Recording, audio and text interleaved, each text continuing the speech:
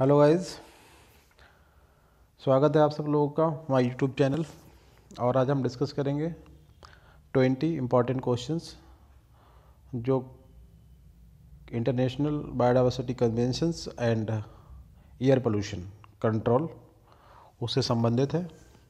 तो हम स्टार्ट करते हैं क्वेश्चन नंबर फ़र्स्ट से। What is true about the U N F C C इसका क्या फुल फॉर्म होता है? कितने लोग हैं इसमें? बहुत सारी इसके बारे में बातें हैं। देखिए, पहले स्टैंड कर रहा है कि it stand for the United Nation framework convention on climate change ये इसकी फुल फॉर्म होती है। दूसरे में बात कर रहा है कि इट हैज़ पर नाइन्टी सेवन मेंबर्स मतलब ये जो पूरा ऑर्गेनाइजेशन है, इसके एक सौ सत्तानवे देश जो हैं, वो मेंबर्स हैं। थर्ड में बोल रहा है कि it is parent treaty of Paris climate change agreement ये अपने आप में एक अनदर मतलब कॉन्फ्रेंस है। उसके जो 2015 में हुई थी, इसकी पेरेंट ट्रीटी है यूएनएफसीसी और फोर्थ बोला कि it is also a parent treaty of Kyoto protocol उन्नीस सौ सत्तानवे में जो कोयटो प्रोटोकॉल हुई थी, उसकी पेरेंट ट्रीटी मतलब कोयटो प्रोटोकॉल भी U N F C C C के अंतर्गत हुई थी। तो ये बातें बिल्कुल सही हैं कि U N F C C बहुत बड़ा अपने आप में एक फ्रेमवर्क है, जो पेरिस क्लाइमेट चेंज एग्रीमेंट का भी पेरेंट ट्रीटी है और कोयटो प्रोटोकॉल का भी पेरेंट ट्रीटी है। और इसका फुल फॉर्म यही होता है United Nation framework convention on climate change और आज के टाइम में इसके जो मेंबर का पार्टनर्स जो है वो वन नाइन्टी सेवन है। तो गाइज़ यहाँ पे जो करेक्ट आंसर है वो ई ये सभी बातें about the U N F C C के बारे में सही है। अच्छा नेक्स्ट पॉइंट में बात करते हैं कि what is the aim of what is aim of climate change जो प्रोग्राम है, इसका क्या एम है? तो गाइज़ इसका जो एम है वो पे बात करना है। पहले में कह रहा है ऑप्शन ए में to keep a global average temperature rise this century will below two degree centigrade. कि जो पेरिस में क्लाइमेट चेंज एग्रीमेंट हुआ था, उसमें ये बात पे सब लोग जो वर्ल्ड के लीडर थे पूरी दुनिया के, वो इस बात पे सहमत थे कि जो ग्लोबल टेम्परेचर है, वो दो डिग्री सेंटीग्रेड से कम रखा जाएगा। कोई भी कोशिश करेंगे, इतना टेम्परेचर नहीं होने देंगे कि वो कहीं ना कहीं दो डिग्री सेंटीग्रेड से ही कम रहे। दूसरे में कह रहे हैं to drive efforts to limit the temperature increase even further to 1.5 degree centigrade above the pre industrial level जो प्री इंडस्ट्रियल लेवल में टेम्परेचर हुआ करता था अर्थ का, उससे केवल हम 1.5 डिग्री सेंटीग्रेड एव तो टेम्परेचर जाने देंगे, उससे ज़्यादा नहीं, ठीक है? और सी मतलब बहुत आर करेक्ट ये दोनों बातें सही है कि दोनों बातें पेरिस क्लाइमेट चेंज एग्रीमेंट में डिसाइडेड हुई थी और डी में कह रहा है नन ऑफ़ दी तो पेरिस क्लाइमेट चेंज एग्रीमेंट की अगर रेफरेंस में हम बात करें तो ये दोनों बातें उस एग्रीमेंट में हैं। कि कि जो ग्लोबल टेम्परेचर है, वो सेंचुरी का, इस सेंचुरी का दो डिग्री सेंटीग्रेड से कम रखेंगे और बस जो प्री इंडस्ट्रियल लेवल टेम्परेचर है, उसे 1.5 से ज़्यादा नहीं इंक्रीज होने देंगे। ठीक है गाइज़ नेक्स्ट क्वेश्चन में हम बात करते हैं क्वेश्चन नंबर तीन। इसमें बात है what is true about the Pachmarhi या सतपुरा टाइगर रिज़र्व के बारे में। तो देखिए, इसके बारे में तीन स्टेटमेंट हैं कि it declared biosphere reserve in 1999 मतलब उन्नीस में इस टाइगर रिज़र्व को अपने बायोस्फीयर रिज़र्व डिक्लेयर हो गया था। और सेकंड में कह रहा है, इन 2019 में this biosphere reserve included in the category of UNESCO UNESCO की कैटेगरी का मतलब हुआ यूनेस्को की वर्ल्ड हेरिटेज साइट में ये इंक्लूड हो गया था। और थर्ड में कह रहा है कि in 2019 it was in use due to the presence of some rare species of orchids orchids क्या होते हैं? छोटे से स्मॉल प्लांट्स होते हैं, बहुत ही ब्यूटीफुल जो कि मोनोकार्डिडेंस मतलब मोनोकार्ड को बिलोंग करते हैं। और ये डेकोरेशन ऑफ़ या फिर शादी, जो कुछ कस्टम्स रिचुअल्स होते हैं, उन पर हमें घर को डेकोरेट करने में काम आते हैं। वैसे जंगल में भी काफ़ी अर्नामेंटल प्लांट्स होते हैं। तो ये बातें जो हैं, पंचमढ़ी के बारे में ठीक हैं कि ये जो था 2019 में due to meeting of rare species of orchids वहाँ मिल गई थी। उसकी वजह से चर्चा में रहा था और उन्नीस सौ निन्यानवे में ये बायोस्फीयर रिज़र्व बना था और 2019 में ये से मतलब 2019 में ये फ़ेमस हुआ था, ठीक है ड्यू टू आर्किड्स और नाइन टू थाउज़ेंड नाइन में इसे यूनेस्को की साइट में इंक्लूड करा गया था। तो करेक्ट आंसर का इस डी है, क्योंकि ये बातें सब about the Pachmarhi tiger reserve या सतपुरा टाइगर रिज़र्व के बारे में ठीक है। रतपुरा लिखा है सतपुरा टाइगर रिज़र्व होगा गाइस नेक्स्ट क्वेश्चन में हम बात करते हैं कि in which following is not a secondary air pollutant देखिए सेकेंडरी एयर पोलूटेंट का मतलब होता है जो किसी से मिलके बनता है, जैसे कि H O four smoke H N three या क्या होता है डायरेक्ट इनका वो नहीं होता है ये दो के मिक्सचर से बनते हैं, जैसे एन ओ थ्री और बाटर तो एच एन ओ थ्री इस तरीके से एच टू फोर और बाटर और एच ओ फोर की है एच टू फोर बन जाता है, इस तरीके स्मोक बनता है। मगर कार्बन मोनोऑक्साइड जो होता है, वो डायरेक्टली किसी बायोमास के जो ब्रेक डाउन होता है मतलब उसके बर्निंग से निकलता है। तो ये जो है डायरेक्टली जो है प्राइमरी एयर पोलूटेंट है, ये सेकेंडरी नहीं है। इसमें कह रहा है नॉट सेकेंडरी एयर पोलूटेंट ये सेकेंडरी एयर पोलूटेंट नहीं है। ठीक है, बाकी जो है वो सेकेंडरी एयर पोलूटेंट है। नेक्स्ट क्वेश्चन में बात करते हैं कि जो कन्वेंशन ऑन बायोलॉजिकल डाइवर्सिटी जिसे बोलते हैं CBD consist of CBD convention जो है, इसका अपना एक पूरा बुक है मतलब संविधान है। तो इसमें कितने आर्टिकल्स हैं? तो इसमें आर्टिकल का नंबर जो है वो फोर्टी टू है। ठीक है, ध्यान रखना है ऐसे काफ़ी इंपॉर्टेंट क्वेश्चन है ये। उसके बाद हम बात करते हैं क्वेश्चन नंबर सिक्स पे कि who for the first time gave the definition of integrated control अपने आप में प्रोग्राम होता है कि आईपीएम ठीक है इंटीग्रेटेड पेस्ट मैनेजमेंट तो इंटीग्रेटेड कंट्रोल की जो डेफिनेशन थी, वो सबसे पहले किसने दी थी? वो डेफिनेशन दी थी स्टन ने 1959 में, ठीक है? गाइज़ इसके बाद क्वेश्चन नंबर सेवन में हम बात करते हैं कि the use of spore bearing bacteria was first made for controlling मतलब स्पोर बेरिंग जो फ़ार्मिंग बैक्टीरिया है, उसका जो यूज़ कंट्रोल करने के लिए, वो सबसे पहले किसने किया था? पल्स बीटल को कंट्रोल करने में यूज़ हुआ था, या फ्रूट फ्लाई या जापानीज़ बीटल लार्वी या फिर मास्किटो लार्वी तो ये यूज़ हुआ था पहली बार जापानीज़ बीटल लार्वी के केस में। ठीक है नेक्स्ट क्वेश्चन में बात कर रहे हैं हम कि which are the following larvicidal fishes are used in biological control biological control में कौन सी लार्विसाइडल फ़िश यूज़ करी जाती है? तो गाइज़ इसका करेक्ट आंसर जो है वो आंसर आपका डी टीनो फेरेंगोडॉन एडिला। ये जो फ़िश होती है ये एक लार्बिसाइडल फ़िश है। लार्बिसाइडल का फ़िश का मतलब ये दूसरे जो हमारे एनिमल्स होते हैं, उनके लार्वी को किल कर देती है। तो इस तरीके से it help in the biological control of, और इस तरीके से हमारी क्राप्स को डैमेज होने से बचा लेती है। नेक्स्ट क्वेश्चन में कह रहा है कि which are the following is called ecological management क्या चीज़ होती है? बायोलॉजिकल कंट्रोल को इकोलॉजिकल कहते हैं या कल्चरल कहते हैं या इंटीग्रेटेड पेस्ट मैनेजमेंट को कहते हैं या सभी को कहते हैं? तो गाइज़ नाइनटीन का जो आंसर है वो बी है, जो कल्चरल कंट्रोल होता है, उसे इकोलॉजिकल मैनेजमेंट बोलते हैं। तो आपने देखा होगा इकोलॉजिकल और कल्चरल एक ही बात होती है। नेक्स्ट पॉइंट काफ़ी जनरल सा क्वेश्चन है ये।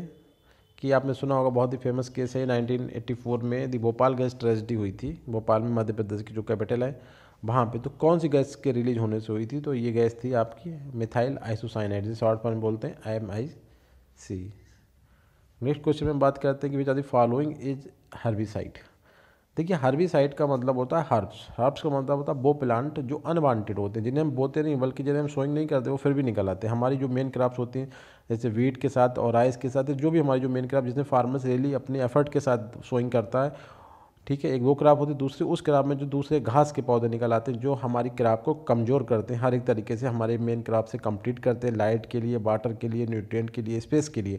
और ऊपर से वो हमारी जो मेन क्रॉप होती है, उसमें डिज़ीज़ भी काज करते हैं। क्योंकि जो पैथोजेंस आते हैं, वो उन हर्ब्स में अपना घर बना लेते हैं। मतलब एज ए रिजर्वायर उन्हें यूज़ करते हैं और हमारी मेन क्रॉप को अटैक करते हैं। तो उन्हें किल करने के लिए जो हम केमिकल यूज़ करते हैं, उन्हें हम बोलते हैं हर्बिसाइड्स तो जो नीचे केमिकल का नाम दिए हैं, उसमें हर्बिसाइड कौन है? D D T two four D parathion toxaphene ठीक है? तो गाइज़ इसमें हर्बिसाइड आपने सुना होगा टू फोर डी जो कि सिंथेटिक हमारे जो प्लांट हार्मोन होते हैं ऑक्सीजन उस कैटेगरी का है, बट सिंथेटिक है ये, ठीक है? Laboratory made synthetic plant hormone है ये, जिसे हम बोलते हैं टू फोर डी मतलब two comma four dichlorophenoxyacetic acid इसका पूरा नाम होता है, और ये हर्बिसाइड की फार्म में यूज़ करा जाता है। आप देखिए, एक बात और आगे बता दूँ, जो हर्बिसाइड होते हैं और टू फोर डी उन हर्बिसाइड को कैसे करके किल करता है? क्योंकि हर्बिसाइड मोस्टली जो हर्बिसाइड रिपोर्ट हुए इंडिया में, जो अनवांटेड प्लांट वो अभी तक फोर्टीन सिक्सटीन प्लांट हुए हैं। और उन सिक्सटीन में most of the, most of the बल्कि आलमोस्ट कहना चाहिए आउट ऑफ़ सिक्सटीन फोर्टीन जो है वो डाइकॉट हैं। डाइकॉट का मतलब होता है जिनकी पत्तियाँ चौड़ी वाली होती हैं ब्रॉड लिफ्ट प्लांट जो होते हैं। ठीक है? और जो हर्बिसाइड होते हैं, वो अपने हर्ब्स को किल करते हैं बाई ब्लॉकिंग देयर फोटोसिंथेसिस। और फोटोसिंथेसिस में भी जो उनका फ़ोटो सिस्टम सेकेंड होता है, उसे ब्लॉक कर देते हैं। और फ़ोटो सिस्टम सेकेंड का ब्लॉक करने का रीज़न ये होता है कि फ़ोटो फोटोसिंथेसिस के दौरान जो ऑक्सीजन निकलती है, वो फ़ोटो सिस्टम सेकेंड का काम होता है। जब फ़ोटो सिस्टम सेकेंड ब्लॉक हो जाता है due to action of the herbicides तब उस प्लांट को ऑक्सीजन निकलने की प्रोसेस बंद हो जाती है। जब ऑक्सीजन निकलने की प्रोसेस बंद हो जाती है तो जो प्लांट होता है, वो due to lack of oxygen क्योंकि ऑक्सीजन प्लांट भी तो ऑक्सीजन लेता है, उसकी वजह से उसकी डेथ हो जाती है। ठीक है? तो ये आप ध्यान रखें कि हर्बिसाइड का जो एग्ज़ाम्पल है, इसमें वो टू फोर डी है।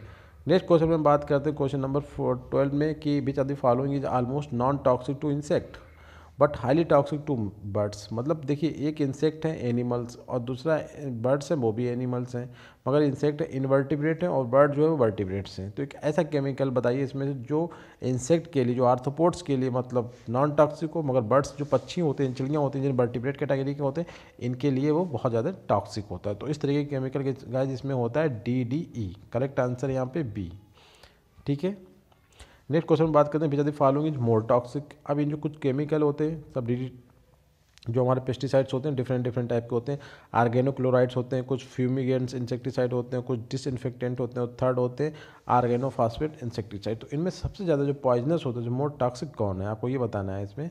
तो मोर जो टॉक्सिक होता है, वो गाइज़ होता है आर्गेनोफास्फेट हमें ध्यान रखिए आर्गेनोफास्फेट ठीक है? ये सबसे ज़्यादा टॉक्सिक होता है। नेक्स्ट क्वेश्चन फोर्टी में हम बात करते हैं बिचादी following is not included in the list of criteria of air pollutant. मतलब एक जो एयर एयर पोल्यूटेंट होने का जो क्राइटेरिया है केमिकल्स के लिए, इन चार में से कौन उस क्राइटेरिया में फिट नहीं होता? देखिए सी नहीं फिट होता है। सिंपल सी बात है सी एक गैस है और सी का तो बहुत सारा इंपॉर्टेंस है हमारी फोटोसिंथेसिस के लिए।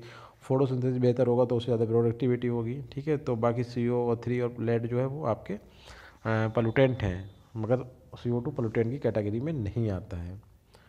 ठीक है गाइज़ क्वेश्चन नंबर फिफ्टीन में देखते हैं बिचा दी फॉलोइंग इज़ नॉट एक criteria of air pollute air pollutant होने का जो क्राइटेरिया में कौन नहीं आता? सेम वैसी क्वेश्चन है ये कि particulates N two O S O two and S two O देखिए एस टू आपने देखा होगा जब हम इन ऑर्गेनिक फोटोसिंथेसिस की बात करते हैं, जब ठीक है, एक ऑर्गेनिक फोटोसिंथेसिस होती है, एक इनऑर्गेनिक होती है तो उसमें H two S as a sulphur provide करता है, जो केमिकल अपना फ़ूड मटेरियल बनाने के लिए कुछ ऐसे बैक्टीरिया होते हैं कीमोसिंथेटिक बैक्टीरिया उनके काम आता है। और ये एयर पोल्यूटेंट नहीं है, क्योंकि ये एयर में कहाँ पाया जाता है? ये तो सॉइल में डिपॉजिट के फॉर्म पाया जाता है। तो बाद पार्टिकुलेट और एन टू और एस ओ टू ये तो सब आपके मतलब एयर पोल्यूटेंट है तो इस क्राइटेरिया के अकॉर्डिंग कौन नहीं है? S two S not a criteria of air pollutant मतलब उसके क्राइटेरिया में नहीं आता है। अब नेक्स्ट क्वेश्चन में बात करते हैं कि C O poisoning carbon monoxide की जो पॉइजनिंग होती है affects lungs oxygen carrying capacity of blood liver or none of the अब देखिए, जो सी होता है वो हीमोग्लोबिन से बहुत अच्छा रिलेशनशिप रखता है। मतलब अच्छा मतलब बहुत ज़्यादा इसकी एफिनिटी होती है और जब किसी को CO पॉइजनिंग होती है, सबसे इंपॉर्टेंट होता है और हीमोग्लोबिन क्या करता है? वो हमारी बॉडी में ऑक्सीजन का कैपेसिटी मतलब ऑक्सीजन को हमारी बॉडी के एक एक पार्ट तक ले जाने का काम करता है। जब सीओ पॉइजनिंग का मतलब होता है कि जो ऑक्सीजन कैरिंग कैपेसिटी है, आपकी हीमोग्लोबिन वो अफेक्टेड हो जाती है, जो करेक्ट आंसर गाइज़ आपका B oxygen carrying capacity of blood ये अफेक्टेड होती है। और नेक्स्ट क्वेश्चन सेवेंटीन में देखते हैं क्या बात आती है।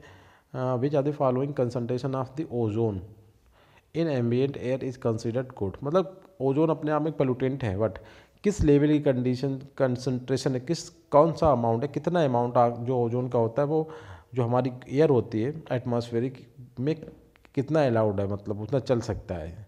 Up to point two zero P P M up to point one two P P M या up to point zero six P P M तो करेक्ट आंसर गाइज़ जो यहाँ पे है, वो आपका है point zero six P P M की जो कंसनट्रेशन होती है, वो वैलिड होती है मतलब उससे कोई प्रॉब्लम नहीं है खास।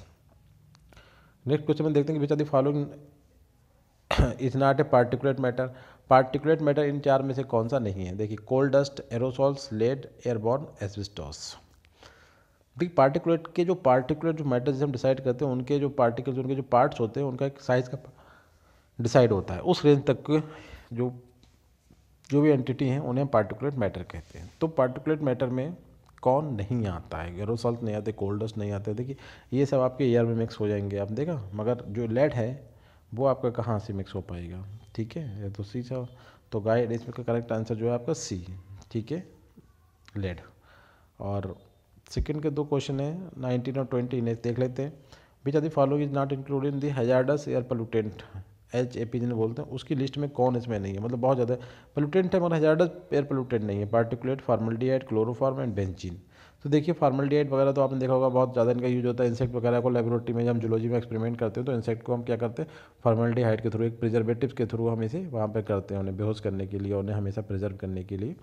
तो इस तरीके से हमारा जो क्वेश्चन बनता है, वो फार्मल्डिहाइड क्लोरोफार्म को अगर हम साथ साथ देखें तो इसमें सबसे इंपॉर्टेंट जो आंसर होगा, वो क्या हो सकता है आपका?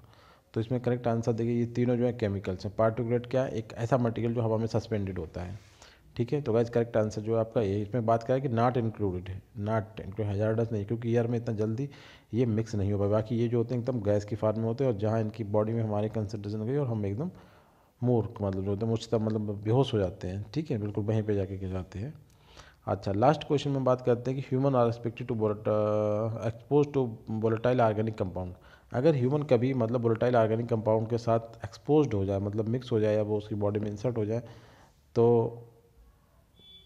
वो कहाँ से आएँगे? मतलब मैं क्वेश्चन दूसरा बता रहा हूँ कि humans are expose to volatile organic chemicals जिन्हें बी ओ सी बोला जाता है। वो ह्यूमन जिनसे एक्सपोज होगा तो वो कहाँ से आएँगे? देखिए सॉल्वेंट से आएँगे एरोसॉल्स स्प्रे से आएँगे और पेंट से आएँगे। तो क्या जिसका इन तीनों चीज़ों को हम यूज़ करते हैं, आपने देखा होगा सॉल्वेंट डिफरेंट टाइप के एरोसॉल स्प्रे या फिर पेंट तो करेक्ट आंसर गाइज़ आपका डी ठीक है? ट्वेंटी का डी तो इस तरीके से आपने ट्वेंटी क्वेश्चन आपने पढ़े हैं और ये कंप्लीट होती है सीरीज़ इसी के साथ। आपका थैंक यू वेरी मच